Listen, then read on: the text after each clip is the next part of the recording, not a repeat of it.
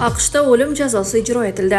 Aqshning missuri shtatida 26 yil avval ro'y bergan qotillikda ayblangan 55 yoshli marselos uilyams qatl etildi. 24 sentyabr kuni qamoqxonada o'lim jazosi inyeksiya yuborish yo'li bilan ijro etildi deb xabar beradi cnn O'lim hukmi 2001 yilda chiqarilgan Williams 1998 yilda sobiq jurnalist, ijtimoiy xizmat xodimi Felitsiya Geylning uyini tunashga kirib, uni o'ldirganlikda ayblangandi. Jarayon uzoq vaqt davom etdi, turli sabablar bilan qayta-qayta ko'rildi. 2015 yilda ekspertiza Williamsning DNKsi gumon qilingan qotillikning DNKsi bilan mos kelmasligini ko'rsatgan. Williamsning advokatlari uning aybi faqat ikki kishining guvohligiga ko'rilganidan, o'lim hukmini chiqargan 12 kishilik hakamlar hay'atidagilarning 11 nafari oq tanli ekanligidan shikoyat qilishgan. Williamsning o'lim jazosini bekor qilish haqidagi petitsiya Innocence Project saytida 720 mingdan ortiq ovoz to'playdi.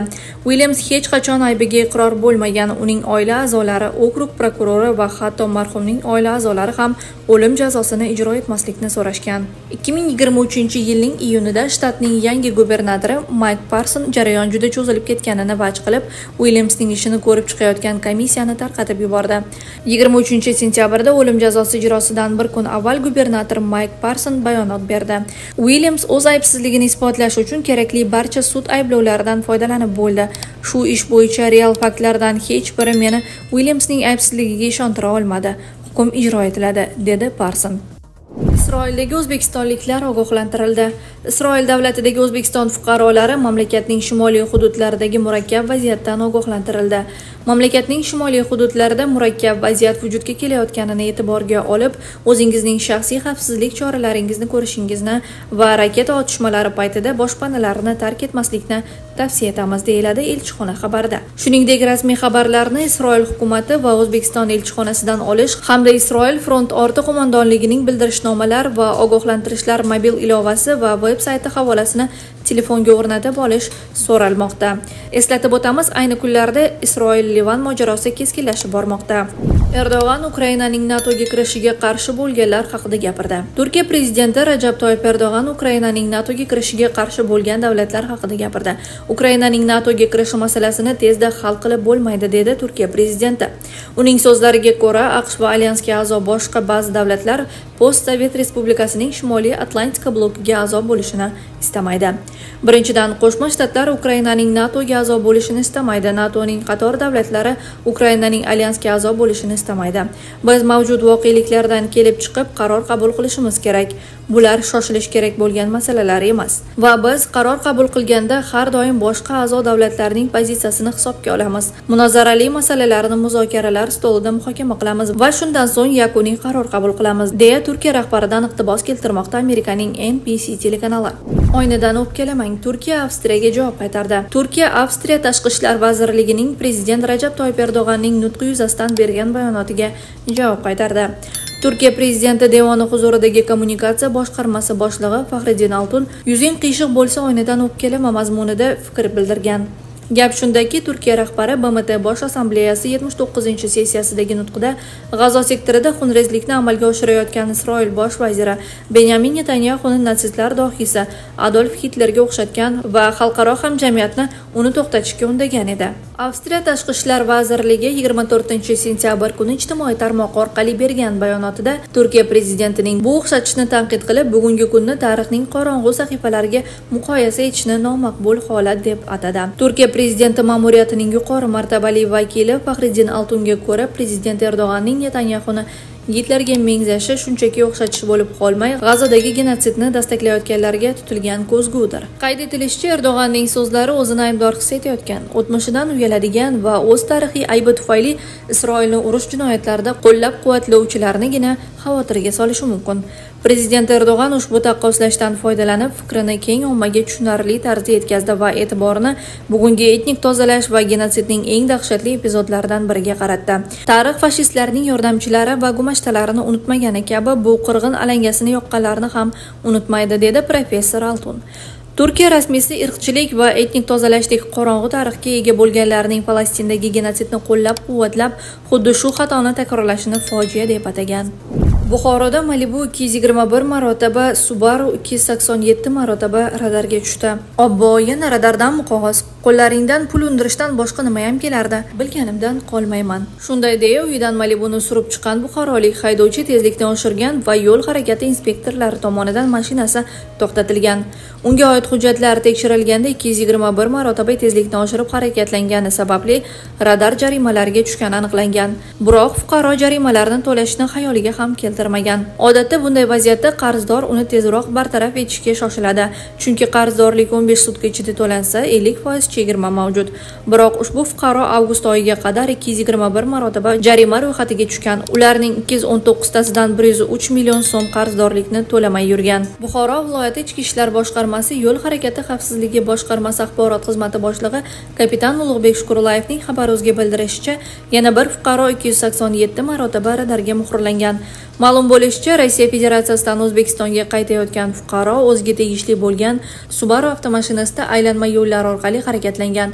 Ayni shu fursat ichida ikki yuz sakson yetti marotaba belgilangan tezlikni oshirgani uchun radarlarga muhrlangan. Ushbu haydovchi ham tezlikni oshirgani uchun hisoblangan ikki yuz oltmish to'qqiz million so'mlik jarima pulini to'lamagan. Ayni paytda har ikki avtomashina ham jarimalar maydonida saflangan. Radar qarmog'iga ilingan avtomashinalar har ikki haydovchi tomonidan qarzlar qoplansagina jarimalar maydonidan chiqarilishi ko'zda tutilgan. Bildirilishicha to'lov amalga oshirilmasa majburiy ijro byurosi tomonidan sudga taqdimnoma kiritiladi. Bmt kelajak talablariga ham javob berishi kerak. Germaniya tashqi ishlar vaziri annalena bermik bmt bosh assambleyasi yetmish to'qqizinchi sessiyasi doirasidagi chiqishlarida dunyoda beqarorlik hukm surayotgan bir paytda mazkur xalqaro tashkilotning o'rni va roli kuchli bo'lishi lozimligini ta'kidladi.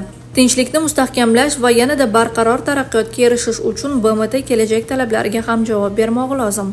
Shu bois ham germaniya namibiya bilan birgalikda bugun qabul qilgan kelajak paktini faol targ'ib etib kelgan edi dedi olmon bosh diplomati. Rasmiy berlin bmt xavfsizlik kengashi yigirma birinchi asr voqeligiga muvofiq bo'lishi lozim deb hisoblaydi. Mas'uliyatli vazifalarni zimmasiga olish uchun germaniya ikki ming yigirma yettinchi ikki ming yigirma sakkizinchi yillarda bmt xavfsizlik kengashida muvaqqat a'zolik uchun nomzodini ilgari surgan shuningdek mamlakat xavfsizlik kengashi afrika osiyo va lotin amerikasi manfaatlarini yanada ko'proq hisobga olish uchun to'rtlar guruhiga kiruvchi braziliya hindiston yaponiya bilan hamkorlikda ishlamoqda. Xalqaro tuzilmaga badal to'lovi miqdori bo'yicha to'rtinchi o'rinni egallagan germaniya bmt xavfsizlik kengashining doimiy a'zoligiga ham intilmoqda. Kremlning bosqinchilik siyosatiga to'xtalgan berbek rossiya nafaqat ukraina balki yevropadagi tinchlik va xalqaro tartibga ham qarshi chiqayotganini ta'kidlagan. Shunga ko'ra bmt nizomlariga amal qilish muhimligini urg'ulagan. Agar biz xavfsizlik kengashi a'zosi besh doimiy a'zodan biri maqsadiga kuch va zo'ravonlik bilan erishishga yo'l qo'ysak u holda nafaqat xalqaro hamjamiyatga balki sayyoramizning umumiy kelajagiga ham halokatli tahdid yuzaga keladi dedi germaniya vaziri. O'lim jazosini ellik besh yildan ortiq kutgan odam oqlandi.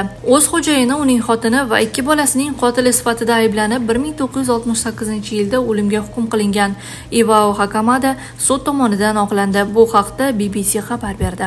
Ivao hakamada hozir sakson sakkiz yoshda qotillik yuz bergan bir ming to'qqiz yuz oltmish to'rtinchi yilda yigirma sakkiz yoshda bo'lgan. Ikki ming o'n to'rtinchi yilda sizuoko shahar sudi qotilning dnkasi hakamadaning dnkasi bilan mos kelmasligini tasdiqlagan va mahkum ozodlikka chiqarilgandi.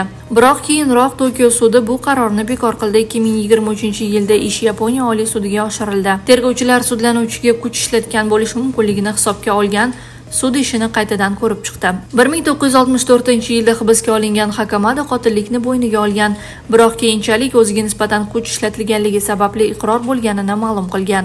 ikki ming o'n birinchi yilda hakamada o'lim jazosini eng ko'p kutgan inson sifatida e'tirof etilgan. Rossiya tashqi ishlar vazirligi o'zbekiston maktablarining biridagi holat yuzasidan tushuntirish so'rayapti. Rossiya tashqi ishlar vazirligi rasmiysi mariya zaxarova kecha yigirma beshinchi sentyabr kuni ijtimoiy tarmoqlarda tarqalgan.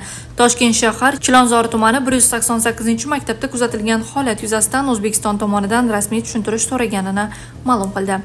Brifingda zaxarovaga o'zbekistonning toshkentda sodir bo'lgan yuqoridagi holat bo'yicha savol bergan jurnalist o'quvchini rus tilli deya tanishtirgan. Aftidan rossiyalik diplomat ham aynan shu jumlaga e'tibor qaratadi va rossiya va o'zbekiston davlatlari o'rtasida hech qanday adovatga ayniqsa til masalasida o'rin yo'q va bo'lishi ham mumkin emasligini iddao qiladi. Video mazmuni bolaga nisbatan o'ta xavotir va hamdardlik uyg'otmasligi mumkin emas. Biz o'zbekiston tomonidan rasmiy tushuntirish so'radik.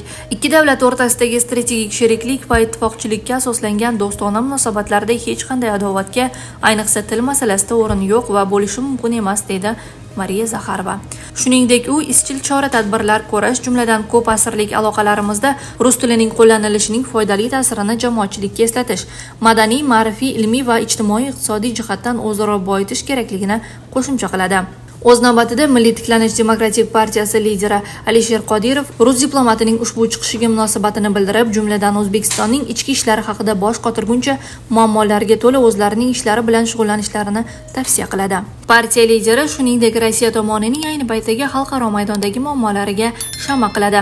Va tekis joyda to'polondan foyda chiqmasligini tushunib yetishdi degan xulosaga ertaroq shekilli deya qo'shimcha qiladi. Eslatib o'tamiz chilonzor tumanidagi bir yuz sakson sakkizinchi maktabda rus tili darsi payti maktabga maktabga sinov davri uchun olingan o'qituvchi ilk darsidayoq oltinchi sinf o'quvchisini tartibsizligi uchun jazolagani ya'ni uni urgani aks etgan videolavha tarqalgan edi. Hamster tokeni bilan qanday va qayerda operatsiyalarni amalga oshirish mumkin? O'zbekiston respublikasi istiqbolli loyihalar milliy agentligi hamster kombat o'yini va uning hamster kriptoaktivining o'zbekiston qonunchiligida qanday malakalanayotgani bilan bog'liq ayrim ma'lumotlarni ochiqladi agentlik jumladan o'zbekistonliklar ushbu turdagi o'yinlar uchun listing jarayonidan o'tgan kriptoaktivlarni qonuniy ravishda sotib olishi yoki sotishi mumkinmi? Fuqarolar ushbu kriptoaktivlar bilan qanday va qayerda operatsiyalarni amalga oshirishi mumkin? Kabi qator savollarga javob bergan. Agentlik jumladan o'zbekistonliklar ushbu turdagi o'yinlar uchun listing jarayonidan o'tgan kriptoaktivlarni qonuniy ravishda sotib olishi yoki sotishi mumkinmi? Fuqarolar ushbu kriptoaktivlar bilan qanday va qayerda operatsiyalarni amalga oshirishi mumkin? Kabi savollarga javob bergan. Hamster kriptoaktivmi? Internetdagi ochiq manbalardan olingan ma'lumotlarga asoslanib the hamster foundation loyiha tashkilotchilari ton ekotizimi doirasida hamster combat o'yinining web 3 o'yinchilari uchun airdrop jarayonini amalga oshirish uchun hamster tokenining chiqarilishini e'lon qilishdi. Shu bilan birga coinmarketcap.com axborot resursi ma'lumotlariga ko'ra ushbu tokenga yagona kriptoaktiv identifikatori 32195 raqami berilgan hamda mazkur token listingini amalga oshirishni rejalashtirgan. Joylashtirgan elektron platformalar haqida ham ma'lumot taqdim etilgan. Ushbu token egalari airdrop jarayonida olingan hamster tokenlarini o'zbekistonning qayerda qonuniy ravishda sotishi mumkin. Qabul qilingan hamster tokenlarini faqat kriptoaktivlar aylanmasi sohasidagi milliy xizmat ko'rsatuvchi provayderlar orqali. Agar ular kripto birja kopirovkasi ro'yxatiga yoki kripto do'konning savdo savatiga kiritilgan bo'lsa xarid qilish yoki sotish mumkin bo'ladi. Shu bilan birga eslatib o'tamiz ushbu turdagi tokenlar juda o'zgaruvchan bo'lib aksariyat hollarda foydali funksionalligi yo'qligi sababli ro'yxatga kiritilganidan so'ng qisqa vaqt ichida qadrsizlanadi. Token va listing jarayoni amalga oshiriladigan kripto platformalar haqida to'liq ma'lumotni qayerdan olish mumkin? Hamster tokeniga oid ma'lumotlarni loyihaning rasmiy veb saytida white paper deklaratsiyasida ijtimoiy tarmoqlar va telegram messenjeridagi loyiha profillari coinmarket.com axborot resursida va boshqa manbalardan olish mumkin.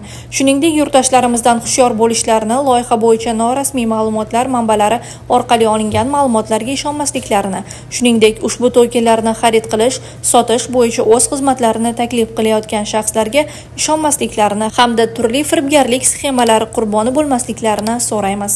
O'zbekiston hamster tokenini noqonuniy xarid qilish sotish uchun javobgarlik bormi? O'zbekiston respublikasi hududida kriptoaktivning turi yoki nomidan qat'iy nazar kriptoaktivlar aylanmasi sohasidagi qonun hujjatlarini buzganlik uchun qonunchilik darajasida ma'muriy va jinoiy javobgarlik choralari belgilangan. Pavel durovning daromadi tergovchilarni hayron qoldirdi. Pavel durov yillik daromadi bir dirham uch butun o'nda besh ming so'm atrofida ekanini aytdi. Telegram asoschisi parijda qo'lga olinganidan o'zini so'roqqa tutgan tergovchilarga shunday javob bergan deb yozadi le monde nashri.